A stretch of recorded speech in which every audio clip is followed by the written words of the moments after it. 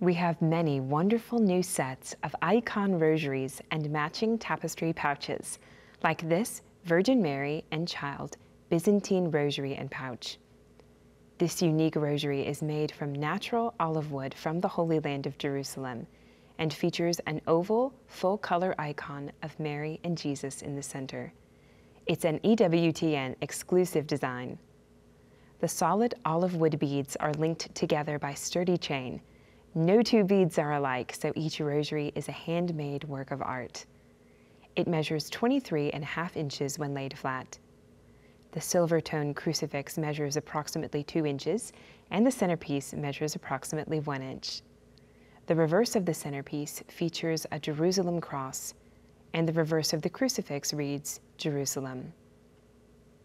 The coordinating pouch features the same beautiful icon from the centerpiece on the front and on the reverse are the words of the Hail Mary prayer. A crucifix adorned with INRI is attached to the zipper. The pouch has a gold finger loop, perfect for attaching to your keys or purse. And of course, you can carry your rosary, prayers, jewelry, or trinkets inside the pouch.